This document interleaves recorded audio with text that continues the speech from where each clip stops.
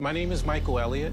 I'm from Los Angeles, California, and my business is Hammer and Nails. I'm seeking $200,000 in exchange for 20% equity in my company.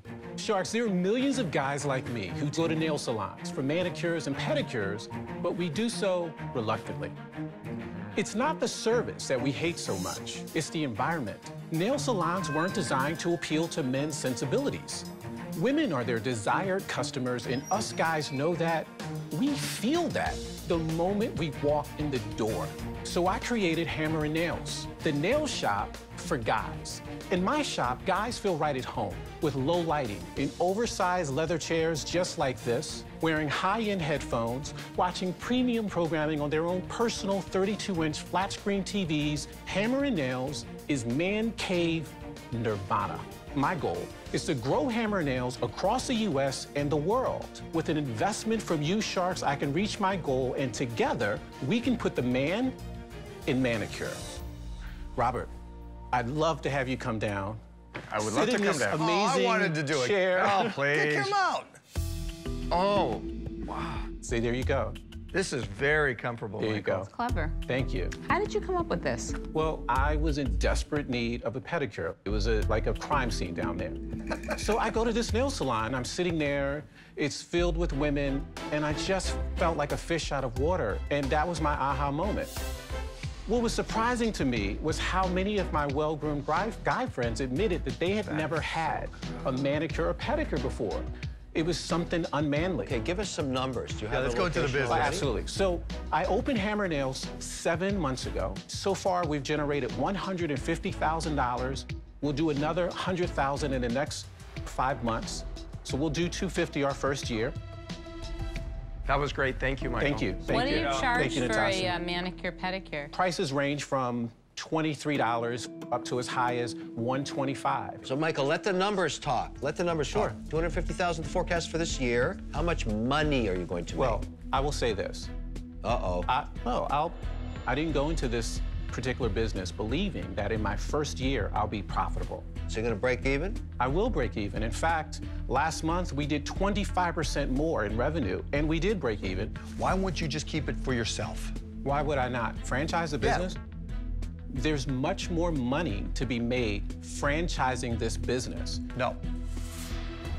We'll disagree on that because when you got it and you're ahead of the curve, get to the point where it is so profitable, the franchisees will pay whatever, as opposed to you're having to convince the franchisees, you're putting the cart before the horse, and for those reasons, I'm out.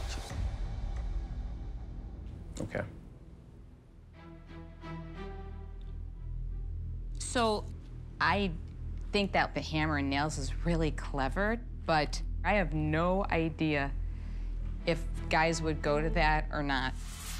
I don't think that I could even judge whether or not this business would make me my money back. So for that reason, I'm out.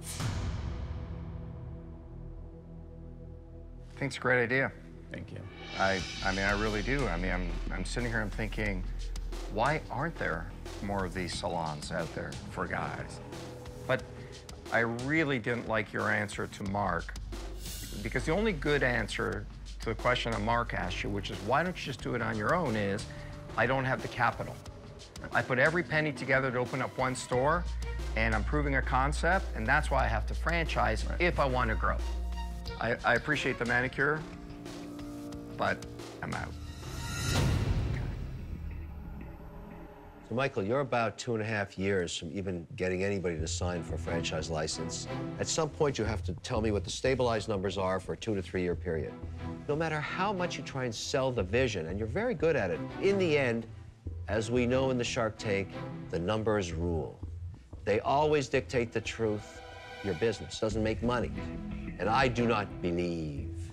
So I'm out. Okay. Thanks for considering.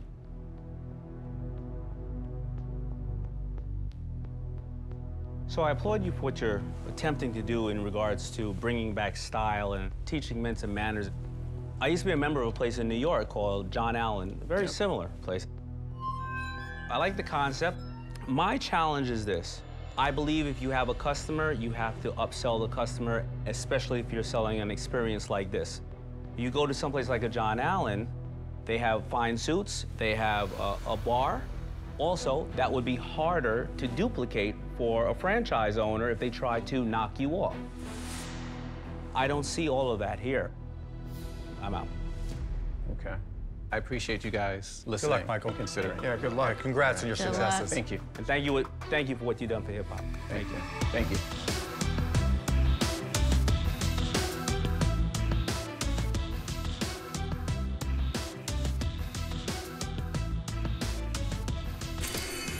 The golden ticket goes to my favorite product. I've made you a good offer. That's what I'm talking about. That is the winner. Riding all the way to the bank, baby! You've come to the right place.